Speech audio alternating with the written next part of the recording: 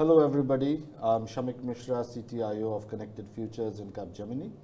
And today I am privileged to be with Dr. Gopi Kurup, uh, CEO of Axiata Enterprise, and Dr. Tomasz Gerszberg, CTO of uh, Axiata Enterprise.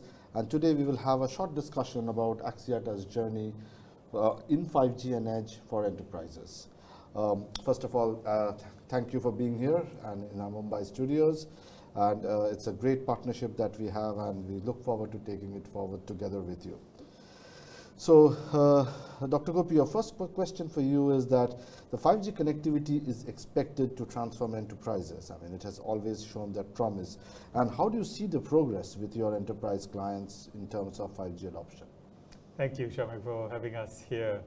Uh, it's an interesting time for us because when we first started this journey, it used to be part of a technology evolution from the telco mm-hmm. perspective. Mm -hmm. What we are encouraged from is the conversations which we're having seems to be driven by the customers themselves. Mm -hmm. They see the value of, of 5G and what it brings across. Uh, early days, but uh, areas around infrastructure of port transformation in, in Bangladesh, in Malaysia, uh, garment manufacturing in Sri Lanka, uh, large infrastructure projects in Indonesia, all of those clients are starting to engage with us to see how 5G can transform mm -hmm. their mm-hmm. own industries. Fantastic.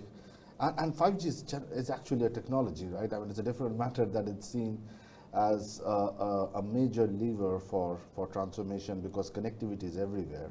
We expect connectivity to be everywhere. We expect connectivity to be there 365 days, 24 cross 7. So the reliability of connectivity is, is so important in terms of enterprise transformation. And so Tom, Tomek, uh, one question to you is that what are uh, the groundbreaking possibilities does 5G bring to or unlocks for enterprises in terms of a technology point of view? So what features, capabilities do you see as the most important thing for enterprises? Um, I would say 5G comes with many features that could be relevant, but that what we see is that surprisingly, just the connectivity, which is industry grade, mm -hmm. is a very strong uh, selling point. Mm -hmm. That you can replace the cables mm -hmm. that are very often the first uh, source of failures mm-hmm. and of disruption in many environments, like the ports or manufacturing. Yeah. And based on that, we can also, like based on 5G, we can also improve the security we can differentiate the network performance to serve many use cases. So actually this flexibility, how to address the customer needs is the key. Exactly, and I, I believe that 5G will be the only technology which we can provide mobility to large, uh, large uh, real estate like ports and warehouses and logistics companies. And so uh, coming back to you, Dr. Gopi, what can you do with 5G today that you couldn't do before? And why, why are you so excited about this in terms of enterprises? As a service provider regionally, we're excited predominantly from an enterprise perspective. Um, it gives us a chance to get deeper into the, the client's business, provide more reliability in, in the connectivity, connect non-traditional devices to get the right sort of data back for mm-hmm. their own operations.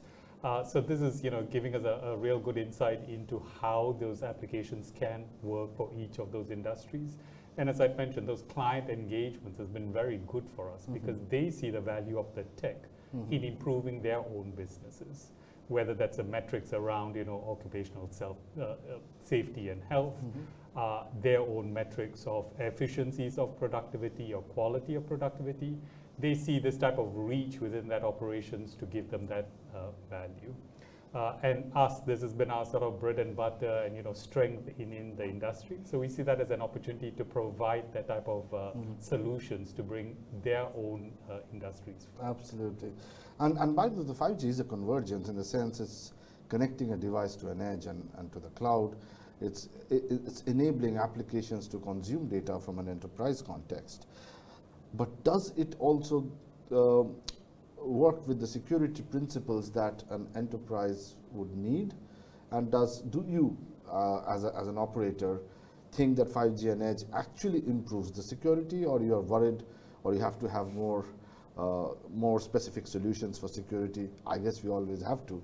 But what's your take about the overall data consumption and security models for 5G and Edge? Yeah, it's a good question because I believe the 5G is the first technology that solved the security problem end to end. Mm-hmm. It is not only you know like delivering the um, good security on the on the access on the radio, but it comes with the uh, security built into the architecture and with some other features that were not available in the previous technologies.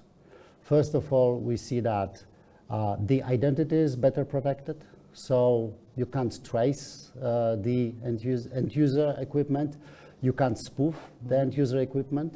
Uh, the architecture itself, uh, which is more secure based, based on the HTTP2, and probably the most important thing is that the signaling itself, it's very consistent through in, the, in this technology, while in previous networks we had a kind of patchwork. Yeah. Um, so I believe from this perspective, the customers, they can feel also the CIOs can see, okay, this is the utmost security level that can be delivered. And the second thing is the way how it can be deployed. Because network disaggregation that comes with 5G um, enables us to deliver very local networks. And those networks can be well protected, well is isolated from the outside world.